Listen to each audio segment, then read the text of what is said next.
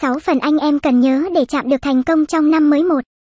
Quyết định điều bạn muốn đạt được trước khi bạn thực sự có thể bắt đầu vạch ra những mục tiêu mới của mình. Điều quan trọng là phải tạm dừng và quyết định xem bạn muốn đạt được gì trong năm mới này. Cho dù đó là mối quan hệ khách hàng tốt hơn, có nhiều tiền hơn hay ổn định gia đình. Điều quan trọng là bạn phải muốn thứ gì đó trước khi bạn có thể có được nó. Nên nhớ các quy tắc để giúp bạn đặt ra mục tiêu của mình, rõ ràng có thể đo lường được cụ thể và đừng quá tham lam. 2. Cần biết mình có gì bạn có thể không có đủ nguồn lực để giải quyết mọi việc trong một năm, nhưng bạn nên đầu tư vào những gì có thể để tận dụng tối đa nguồn lực của mình. Hãy xem xét mục tiêu trong năm mới của bạn là gì và nghĩ ra kế hoạch để biến nó thành hiện thực. Điều quan trọng là thay vì cứ nghĩ về những chuyện mình không làm được. Hãy nghĩ về những việc mình làm tốt nhất. Song song với việc tận dụng tối đa những gì mình có, đừng quên học thêm những gì mình chưa có. 3. Xem xét các mối quan hệ của bạn hãy dành thời gian suy nghĩ về những người có thể giúp bạn thực hiện các mục tiêu mới cho dù đó là ai.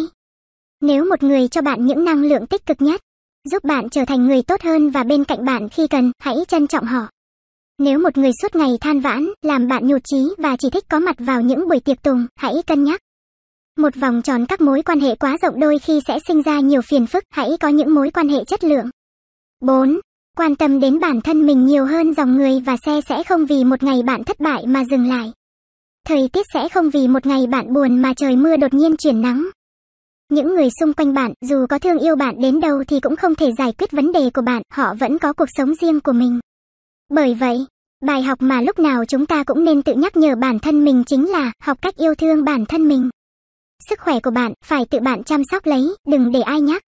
Tâm trạng của bạn phải tự bạn kiểm soát lấy, đừng để bị phụ thuộc bởi người nào cả. 5. Chấp nhận những thử thách và rủi ro có thể tất cả chúng ta đều sợ những thử thách. Bởi vì nó luôn chứa đựng những rủi ro không báo trước. Nhưng hãy cảm ơn nếu như trong năm mới này các ông được gặp những thử thách. Bởi vì chấp nhận những thử thách ấy, nếu thắng cuộc, anh em sẽ có rất nhiều. Nếu thua cuộc, anh em sẽ có những trải nghiệm và những bài học không phải ai cũng có. 6. Tìm cảm hứng và động lực dù bạn đang cố gắng đạt được điều gì. Bạn nên đảm bảo rằng bạn có sự tự tin và động lực để có thể đạt được nó. Bạn có thể tìm thấy cảm hứng từ một thứ gì đó bên ngoài như từ một cuốn sách đến một bài nói chuyện trên TED.